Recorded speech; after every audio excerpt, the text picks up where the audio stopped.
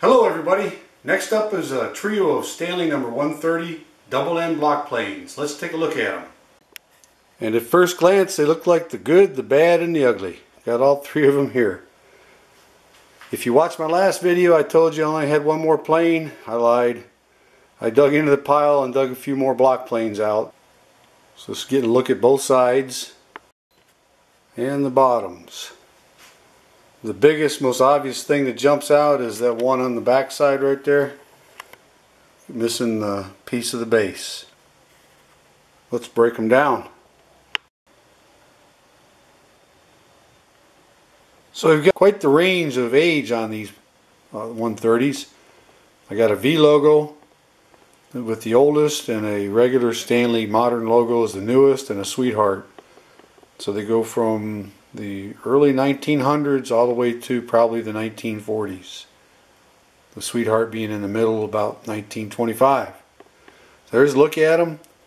There's all the parts. It's time to get busy and clean them up. So the bottoms caps are going to head to the deep sink for a good scrubbing. Simple green and a scrub brush. With the deep sink done, now I know what I've got as far as Japanning goes. The bottoms, I like the Japanning on all three of them. It does not need to be redone. Maybe a little touch up here and there. Those uh, tightening knobs, the one on the right is good. The two on the left I'm going to redo. Same with the caps. The one on the right's good. Two on the left redo. And it's the tops only because the bottoms of all three look good. And there's a look at the bottoms. And I forgot to mention that I pulled those pins out of the bottoms they're used to hold the, the cap in place, run across from one side to the other. You can see the holes now where they used to be. Makes it easier to work on them. Next thing I'm going to do is uh, take this broken end right here and shape it up so it's more like a chisel plane instead of this uh, mess that it is right now. So I reshaped the end so it can work like a chisel plane and I use some uh, 3-aught steel wool and my sanding stick this is just a piece of wood with some 150 grit glued to it. That stick was used to clean up the machine surfaces, these flat places right here, and then steel wool over all of the Japanning. Next thing I'm going to do is I'm going to remove the Japanning. It was originally here, and as you can see, most of that is gone. So that's where I'm going to do a touch-up, is around those edges and anywhere else where there's small bits of Japanning missing. But that's going to come off and then I'm going to uh, work on the sides and the bottoms. So there's the upper edges after the 150 has removed the remaining specks of Japanning that were there. They're prepped for uh, touch-up. The sides and bottom look pretty good.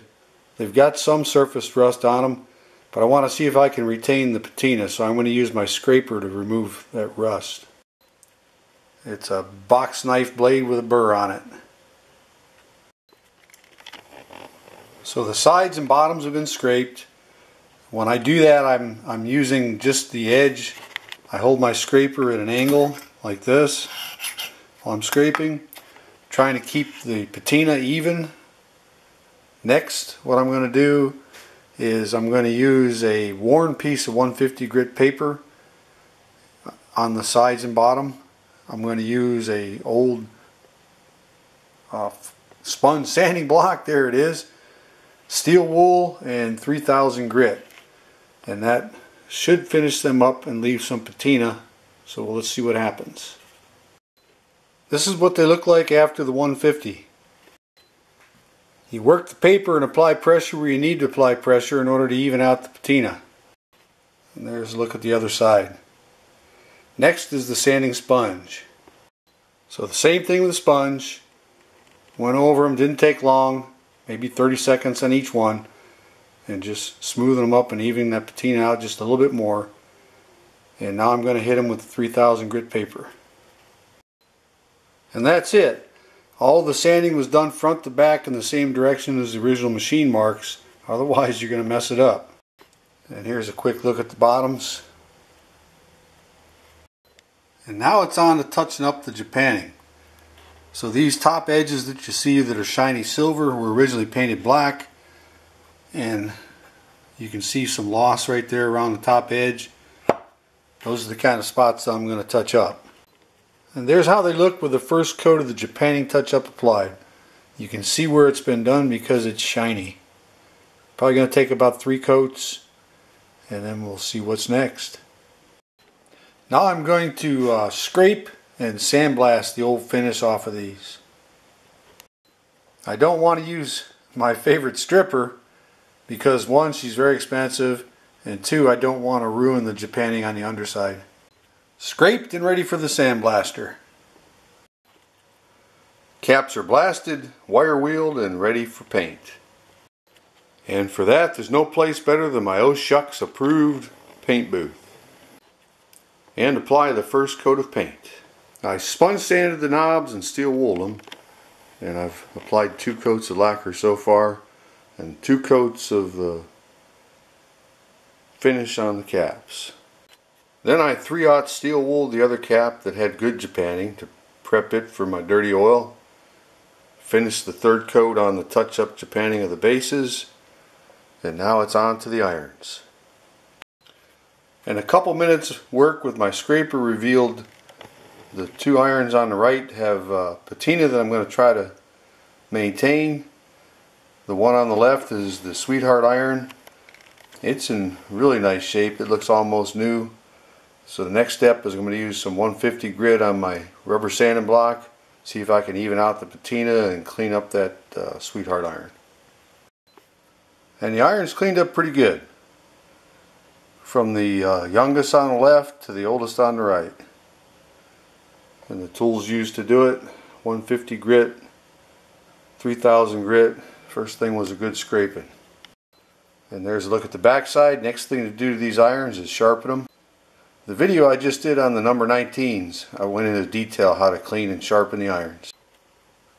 So the 130s are coming along just fine. The irons are sharpened to a razor edge. There's a look at the business side of them and a look at the back side of the three irons. Caps ready for dirty oil. The original one that hasn't had the Japanning redone is on the right. The other two are on the left. The knobs, three coats of lacquer, a uh, little steel wool, they're ready for wax. Bases, I steel wool over top of the touch-up Japanning, just to dull it a little bit, ready for dirty oil. And the pins that go across to hold the cap are done, ready to go. So it's on to the dirty oil. And here's another look at the parts after I've worked the dirty oil into every nook and cranny. So after this it's going to get wiped off, uh, coat of wax, and these beautiful number 130s are going to be ready to go back together.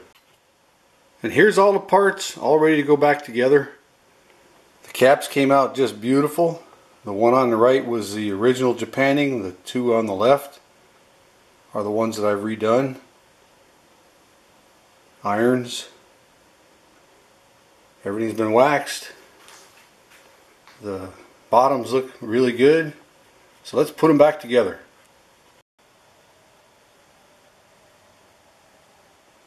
And just like magic, we got three more beautiful planes. Stanley number 130's double end block planes. Let's check them out from all angles before we do a test drive. And here's a look at the bottoms and the sides. Not a whole lot to complain about with these old beauties. Let's see what they can do. First up is the oldest 130. It's the one with the V logo.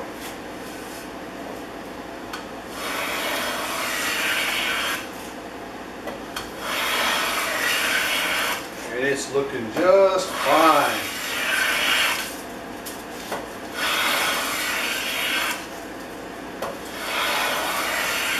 This old beauty's producing some nice shavings. Hope I can work like this when I'm 100 years old.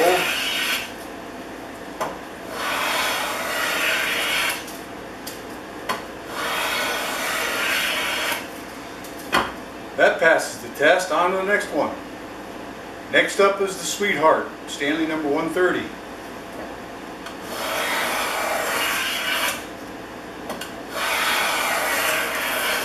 And just like the older brother, it's working fine. Making lots of shavings in my old workshop.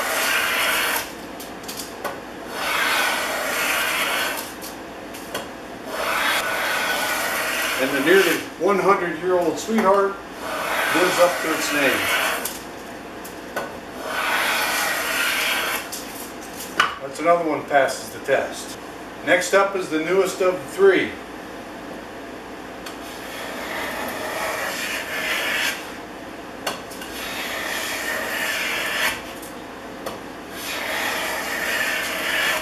Another performer and the and it's the third plane to pass the test. Let's move on and uh, see how they work from the other end. Flip the iron around in the old one, which is the V logo, and we're going to test it out from the other end.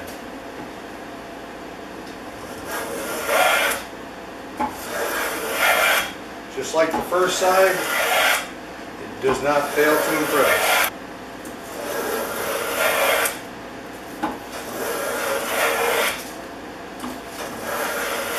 Fine job.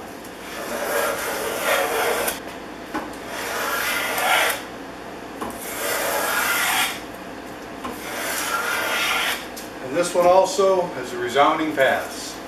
Next one up is the Sweetheart.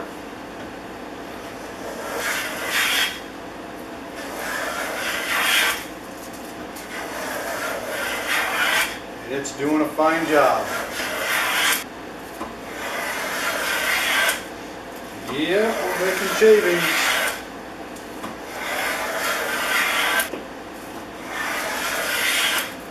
And that makes another plane that passes the test. On to the last one. It takes a little practice getting the iron set where you want it and how to use it. But as you can see right here, it will work. Especially if you're trying to get that iron right in close to the edge of something. I can gouge the edges right out nice. But that's not the purpose. It's more fine work. Clearly not as good as uh, I think it's the number 97. The chisel planes, the ones made for this kind of work, but it is functional. And there they're all done, tested. Three really nice Stanley number 130s. I would not modify one to be a uh, chisel plane as they just don't perform as well as the ones that were designed to do that but it is functional. All three of them will make excellent users for somebody. So another fine project completed. The three Stanley 130s are looking beautiful and they're ready to go on eBay in the month of June which is coming up really quick and that means that the drawing for my uh, free Stanley number 3 is also coming up really quick so stay tuned. I'll be doing a video of that to see who wins and contact you through the YouTube listings. So hope you enjoyed this video.